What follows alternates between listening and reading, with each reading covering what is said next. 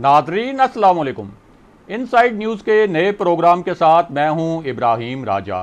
और आज हम बात करेंगे कि भारत की जानब से एक दरिया के नीचे 15 किलोमीटर लंबी पुरसरार सुरंग की तामीर का असल मामला क्या है? दुनिया का सबसे बड़ा और जदीद बहरी जंगी जहाज़, जो कि अमेरिका का है वो अपने पूरे बेड़े के साथ भारतीय अफवाज की मदद के लिए क्यों आन पहुँचा और चीन ने किसी भी जंगी सूरत हाल से निमटने के लिए कौन से मिज़ाइल नस्ब कर दिए हैं? अगर आप इस खबर की तफसील जानना चाहते हैं और आने वाले दिनों में भी अहम मामला से आगाह रहना चाहते हैं तो हमारे चैनल को सब्सक्राइब कीजिए। और अब बात करते हैं आज के मौजू पर। तो आपको बताएँ कि अमेरिका के पास दुनिया का सबसे बड़ा बहरी जंगी जहाज़ों का बेड़ा है और इस बेड़े में चार जदीद तरीन जहाज़ शामिल हैं और इस बेड़े को निमिट्स कहा जाता है।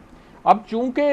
ये जो बहरी जहाज़ है, ये दुनिया का सबसे बड़ा बहरी जहाज़ है, इसलिए इसको सुपर कैरियर के नाम से भी जाना जाता है और इस बेड़े में जो जहाज़ शामिल हैं, उनमें जदीद तरीन missile systems, anti missile defence shields और जदीद तरीन नेविगेशन सिस्टम जो हैं, वो नस्ब हैं। और सबसे अहम बात यह है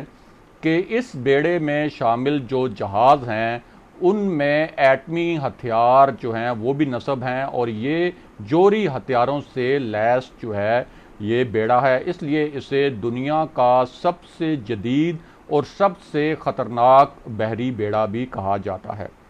अब ये जो अमरीकी बहरी बेड़ा है, ये बहरे हिंद में आया और एक ऐसे मकाम पर आया जहाँ से चीन के जो जनूबी समंदर है, जिसे जनूबी चीनी समंदर कहा जाता है, उस जानब जाने वाले रास्ते के लिए इस पूरे मकाम को इंतहाई अहम और हसास करार दिया जाता है। अब यहाँ दुनिया के इस जदीद तरीन बहरी बेड़े ने भारतीय बहरिया के साथ जंगी मशकें की और ये जो मशकें थीं, ये दो दिन दो दिन तक हुई और इन मशकों में भारत की जानब से चार जो उनके बहरी जहाज़ हैं, उन्होंने हिस्सा लिया। अब ये पूरी सूरत हाल जो है, जिस तरह से ये अमेरिका का जदीद तरीन और ख़तरनाक तरीन बहरी बेड़ा बहरे हिंद में आया और फिर उसके साथ साथ इसने भारतीय बहरी जहाज़ों के साथ मशक़ें की तो ये पूरी सूरत हाल चीन के लिए जो है, बहुत ही एक तशवीशनाक थी और इसने चीन के लिए एक ख़तरे की घंटी बजाई और ख़ुद भारतीय दिफाई तजियाकारों के मुताबिक और कुछ मगरबी जो तजियाकार हैं जो कि दिफा के मामला पर नज़र रखते हैं, उनका कहना है कि चीन ने पहले ही ऐसे मिज़ाइल तैयार कर रखे थे, जो कि तवील फासले तक मार करने की सलाहियत रखते हैं और तवील फासले तक मार करके जो जंगी जहाज़ हैं, उनको ठीक ठीक निशाना बनाने की सलाहियत रखते हैं, यानी अपने हदफ तक ठीक ठीक पहुँचने की सलाहियत रखते हैं। और इन दिफाई तजियाकारों के मुताबिक चीनी फौजी हुकाम ने ये असेसमेंट पहले से कर रखी थी, यानी ये तजिया उन्होंने पहले से कर रखा था कि भारत और अमेरिका की जानब से चीन को इस किस्म की सूरत हाल का सामना करना पड़ सकता है। और इस ख़ास सूरत हाल के लिए उन्होंने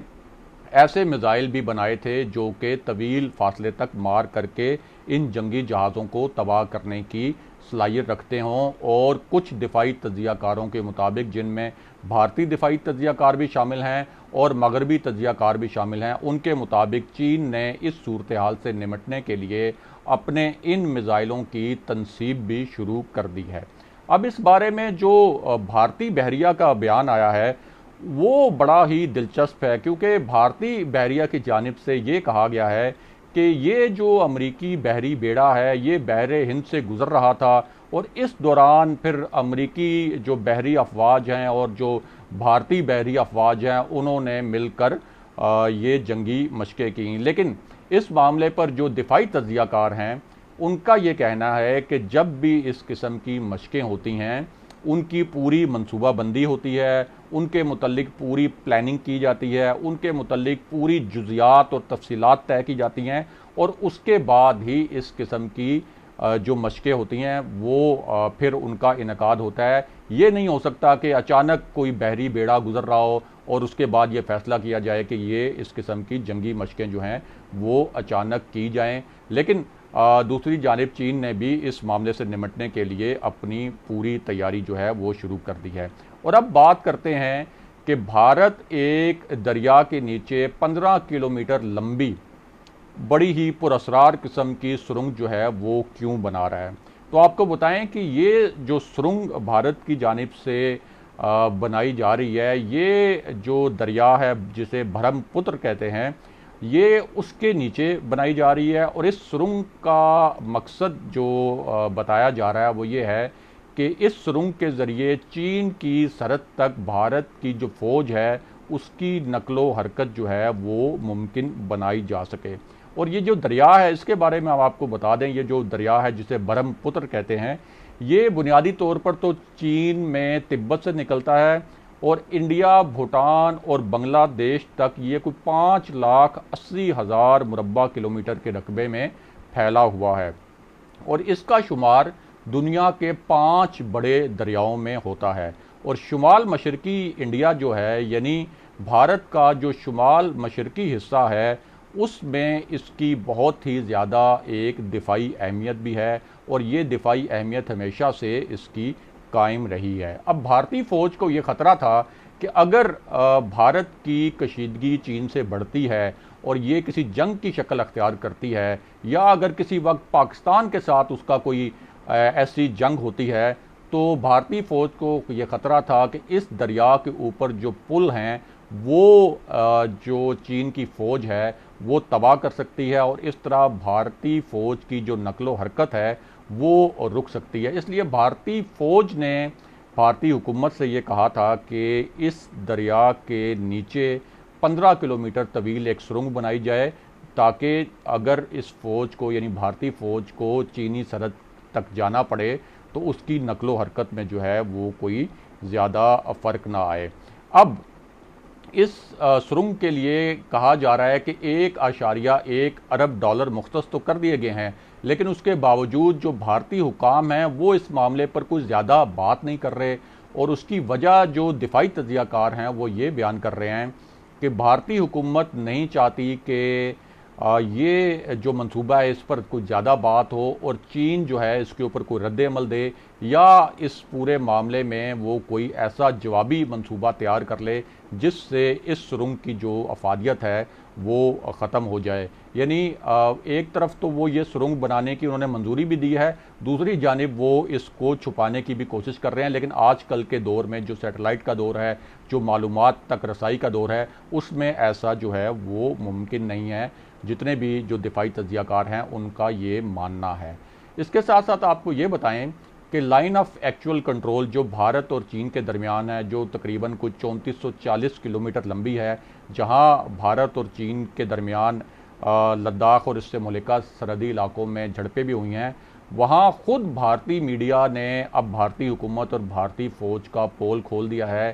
कि इस line of actual control control पर जो चालीस हज़ार चीनी फ़ौजी मौजूद थे वो अब भी इस वक्त इस इलाके में मौजूद हैं और जिस तरह से भारतीय हुकाम, भारतीय आवाम को गुमराह कर रहे थे कि चीन के साथ एक माहा हो गया है और चीन वो इलाके, यानी भारत के वो इलाके जहाँ चीन ने कब्ज़ा कर लिया था, अब चीन वहाँ से वापस जा रहा है और इस मामले पर एक एग्रीमेंट हो गया है। तो ख़ुद जो भारतीय मीडिया है, उसने ये बताया है कि लाइन ऑफ़ एक्चुअल कंट्रोल पर चालीस हज़ार चीनी फ़ौजी अब भी मौजूद हैं और उनका जो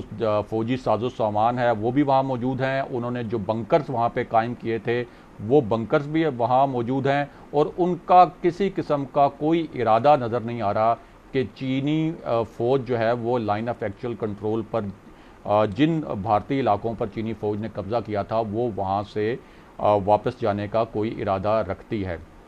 लेकिन भारतीय हुकाम जो हैं, वो इस मामले पर मुसलसल अपने जो अवाम हैं, उनको गुमराह करने की कोशिश कर रहे हैं कि एक सीज़ फायर जो एग्रीमेंट है, वो पहले ही हो चुका है और चीन अब वापस चला जाएगा।